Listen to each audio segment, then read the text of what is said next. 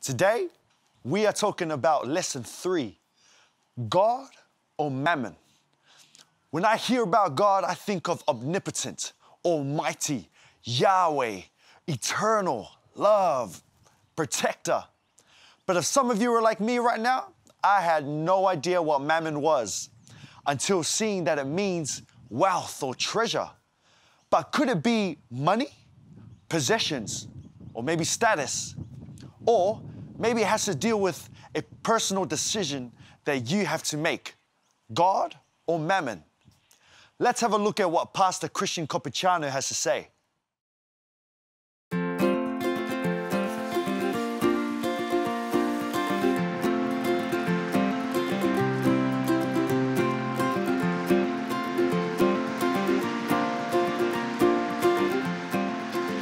No one can serve two masters, for either he will hate the one and love the other, or else he will be loyal to the one and despise the other.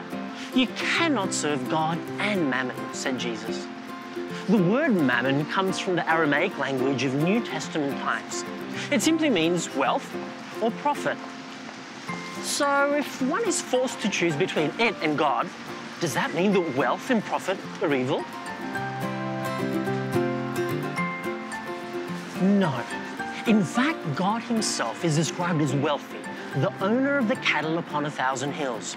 And as for profit, the only injunction against it relates to not making a profit from those down on their luck, as Moses recorded in Leviticus 25, 35 to 37, and also in Proverbs 28, 8. In fact, Proverbs praises those who can make a profit in chapter 14, verse 23, and 21, verse 5.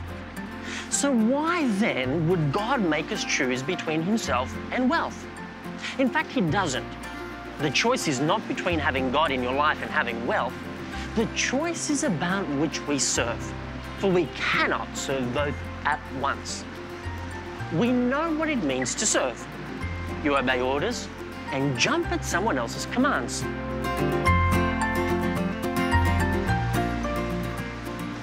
To serve mammon means your priority is to get and keep stuff for yourself. We might do that for many reasons self esteem, financial security, to live a life of pleasure, a life focused on me, myself, and I. While this provides temporary happiness, scientific studies indicate that long term it leaves us empty and dissatisfied. And what does serving God require of us? To love Him and to love others, according to Matthew 22 38 to 40.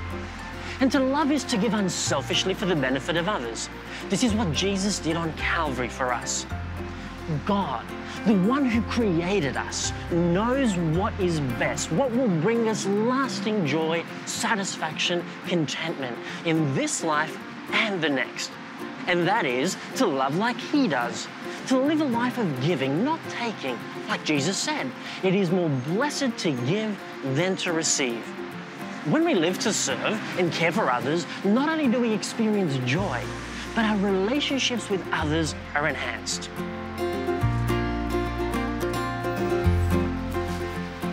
Imagine what our world would be like if everyone focused on service to others. How many poor, destitute, oppressed, abused people would there be? What would our environment be like without greed and selfishness? This is why you can't serve both God and mammon. If your focus is on yourself, by extension, God and others come a distant second. If your focus is on God and others, there's little time and energy left to focus on self. As Christians, we should strive for excellence in all that we do, whether it's family life, work, business, and beyond. But not for personal selfish gain, rather for the benefit of others. As you reflect on God or mammon, the question is not about the size of your bank account, how many properties you own, or the dividends from your share portfolio. The question is, why am I doing what I'm doing? There can only be one motivator to serve God and others, or to serve myself. Which will you choose?